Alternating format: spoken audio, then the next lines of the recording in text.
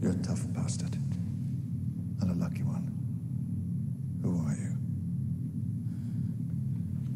I came here with a, with a, with a woman. Who are you? Why have you come here?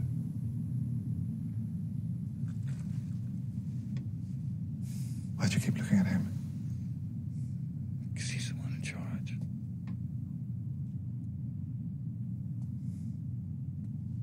You know what this place is? Of course I do. That's why I'm here. Then you understand how this must look to us.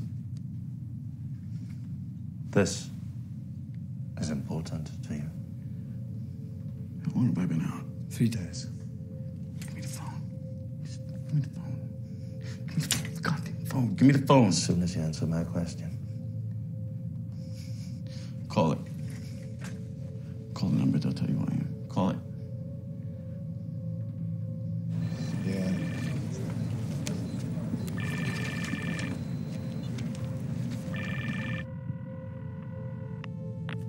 Gerry, Yeah, I'm here. I'm here. my God. We thought you were dead. Gerry, where are you? Gary, I'm with a couple of nervous gentlemen. They need some bona fides before I can speak with you. Of course. This is Thierry Umutoni. Deputy Secretary General, United Nations. To whom am I speaking? Where's Karin? Gerry, why didn't Karin answer? I. I'm sorry, Gerry. I, I, I did what I could. What? Ah!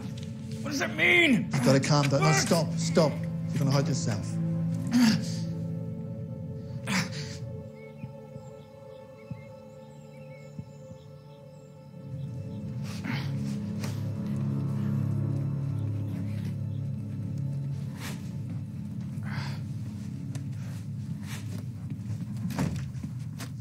You okay?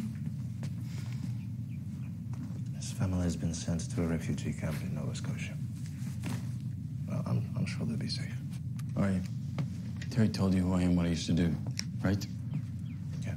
And trust me when I tell you they're not safe. I understand how you feel.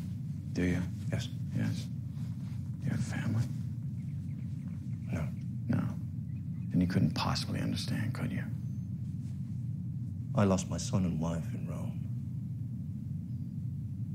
Rather, I lost my son to something that had once been my wife. Well, we have all lost someone, Mr. Lane.